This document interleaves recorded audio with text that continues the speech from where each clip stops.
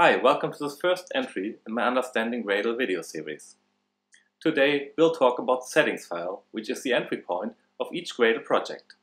To start a new Gradle project, you just need to create an empty folder and put a settings.gradle or settings.gradle.kts file in it. There are three things to know and remember. First, you should give a stable name to your project using the root project.name property. Second, you can define locations where Gradle can look for other components your build may depend on. These may be binary repositories like Maven Central or other Gradle builds that Gradle can use to build components on demand. It's important to realize that there are two fundamentally different things your build may depend on. The first things are libraries your production code might need, as for example an Apache Commons library. The second thing are plugins that extend Gradle itself, these are usually located in the Gradle plugin portal, but may also be provided through other binary repositories. Or you may also define plugins locally in other builds.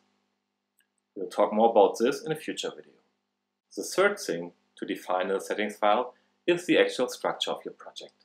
A project is made up of so-called subprojects. You define a subproject by using the include statement. In our example, we define three subprojects one for our data model, one for our business logic, and one for our application code. How we fill these subprojects with content will be the topic of the next video. There are two more things I would like to mention about the settings file. The first thing is that the settings file may have a plugins block.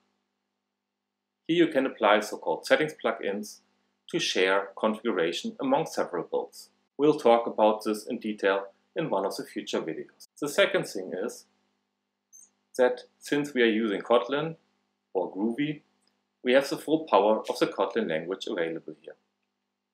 We can use that to make certain configuration more convenient.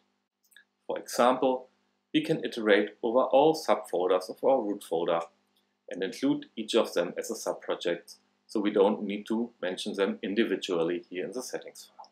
That's all the fundamentals of settings files already.